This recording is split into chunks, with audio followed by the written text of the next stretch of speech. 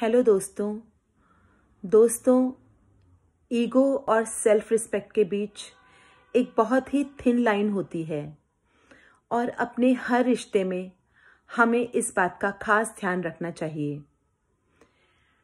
Ego के बढ़ जाने पर रिश्ते अच्छे नहीं चल सकते। उसी तरह से सेल्फ रिस्पेक्ट के कम हो जाने पर भी रिश्ते अच्छे नहीं चल सकते।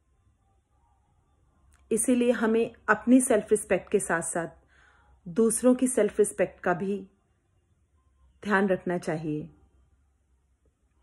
दोस्तों, खूबसूरत और मधुर रिश्ते हमारे खुशी की बहुत बड़ी वजह होते हैं। इसीलिए मेरी इस बात पर खास गौर फरमाइएगा दोस्तों। थैंक यू वेरी मच अपना ध्यान रखिए फिर मिलते हैं।